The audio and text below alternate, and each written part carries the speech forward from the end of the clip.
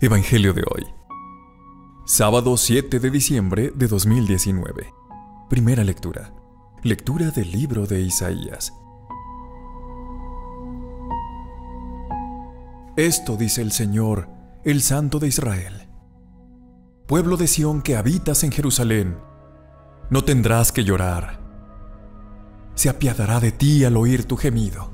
Apenas te oiga te responderá aunque el Señor te diera el pan de la angustia y el agua de la opresión, ya no se esconderá tu maestro. Tus ojos verán a tu maestro.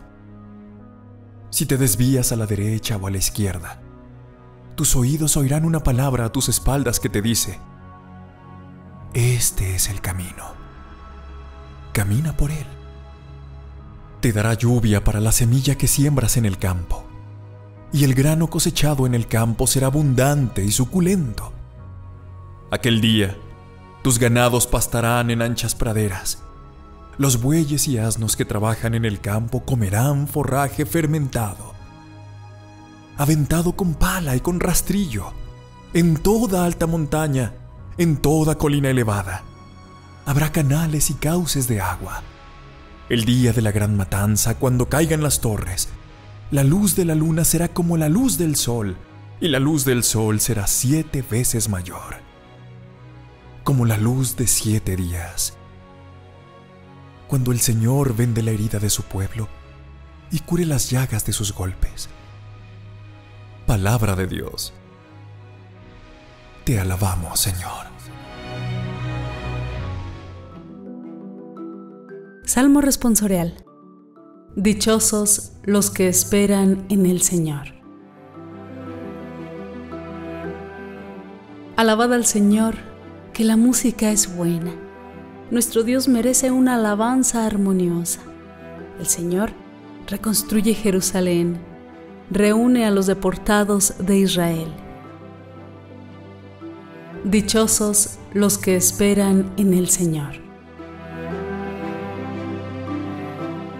Él sana los corazones destrozados, venda sus heridas, cuenta el número de las estrellas y a cada una la llama por su nombre.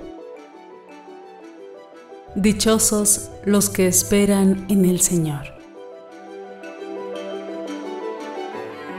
Nuestro Señor es grande y poderoso. Su sabiduría no tiene medida. El Señor sostiene a los humildes humilla hasta el polvo a los malvados. Dichosos los que esperan en el Señor. Lectura del Santo Evangelio según San Mateo. En aquel tiempo, Jesús recorría todas las ciudades y aldeas enseñando en sus sinagogas, proclamando el Evangelio del reino y curando toda enfermedad y toda dolencia. Al ver a las muchedumbres se compadecía de ellas porque estaban extenuadas y abandonadas, como ovejas que no tienen pastor. Entonces dice a sus discípulos, La mies es abundante, pero los trabajadores son pocos. Rogad pues al Señor de la mies, que mande trabajadores a su mies llamó a sus doce discípulos y les dio autoridad para expulsar espíritus inmundos y curar toda enfermedad y toda dolencia. A estos doce los envió Jesús con estas instrucciones. Id a las ovejas descarriadas de Israel. Id y proclamad que ha llegado el reino de los cielos. Curad enfermos. Resucitad muertos. Limpiad leprosos. Arrojad demonios. Gratis habéis recibido dad gratis. Palabra del Señor. Gloria a ti, Señor Jesús. Amado Señor Jesucristo, claro que creemos que tú también nos has llamado para llevar adelante esta misión. Muchas veces nos sentimos que no podemos, pues experimentamos nuestra debilidad e incapacidad. Enséñanos, Señor Jesús, a utilizar estos recursos para recordar que tú siempre estás actuando en mi vida, que tú me llamaste a esta misión, que estás conmigo que siga adelante, que ayude a mis hermanos en medio de las dificultades y que pueda yo, la mayoría del tiempo, compartir tu palabra para que viaje a través del mundo.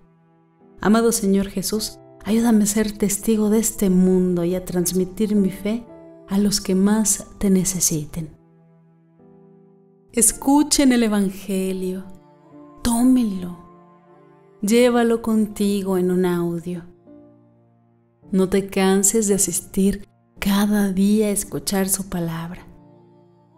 Es el mismísimo Jesús el que te habla así, a través de su palabra, pues esta, lo que vienes a escuchar hoy, es la palabra de Dios.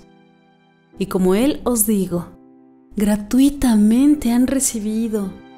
Amados hermanos, gratuitamente den, den el mensaje del Evangelio. Vayan, compartan, den clic. A lo mejor alguno de ustedes no cree que esto sea gratuito, pero ¿cuánto te cuesta?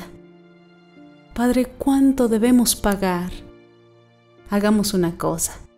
A cambio de este regalo, Hagamos un acto de caridad, amados hermanos, un gesto de amor gratuito, sea desde una oración por nuestros enemigos, una reconciliación, alguna cosa, o simplemente lo más maravilloso, tomar este Evangelio y compartirlo para que llegue a tantas y tantas ovejas perdidas. Hoy Amados hermanos, el Evangelio puede llegar a ti por medio de muchos instrumentos tecnológicos. Oraciones en video es uno de ellos. Puedes llevar la Biblia, la palabra de Dios entera en tu teléfono móvil, en una tablet. Lo importante es que lo escuches en todos los medios que se te presenten. Jesús es quien te está hablando a través de ella. Al hacerlo, estás acogiéndola en tu corazón, no solo en la memoria de tu celular.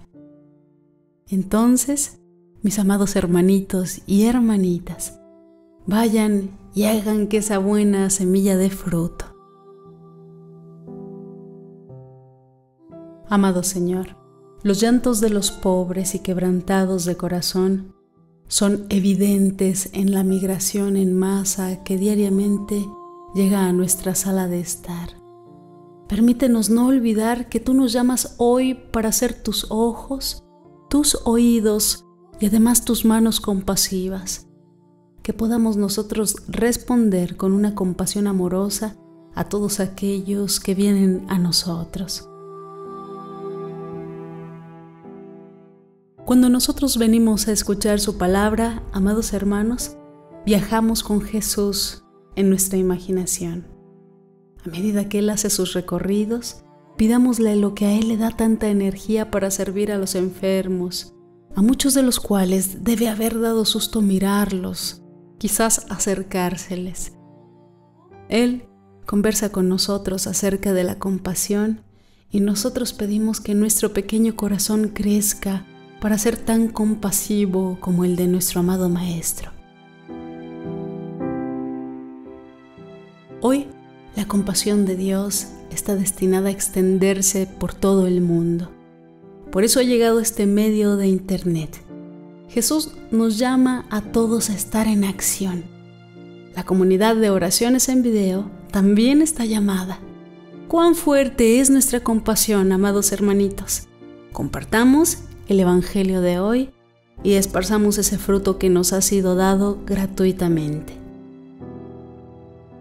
La tarea ya está dada, pues, compartir el Evangelio. Dios los bendiga, mis amados hermanos. Padre Santo, te damos gracias, Padre, por habernos permitido llegar con vida el día de hoy y hasta este momento. Te damos gracias por el pan de cada día. Te pedimos, Padre, que con este Evangelio y el de todos los días nos permitas renacer como personas, como seres incorruptibles. Ayuda a todas las personas del mundo que en este momento elevan sus peticiones personales hacia ti. Oremos también para que nuestras súplicas lleguen a Él, para que su bendición cubra completamente nuestras vidas. Él nos ha prometido que si guardamos sus mandamientos, nos bendecirá y nos protegerá siempre. Amén. En este canal, Oraciones en Video, nos alegra llevarte el Evangelio cada día. Nos esforzamos para llevarte audio y video de calidad, pues la palabra de Dios lo amerita. La enseñanza es el llamamiento más importante, pues Evangelio quiere decir buenas noticias. Queremos seguir contando contigo. Te invitamos a suscribirte a nuestro canal y a compartir este video para que la palabra y las oraciones de Dios sigan llegando a muchos más hogares. Gracias.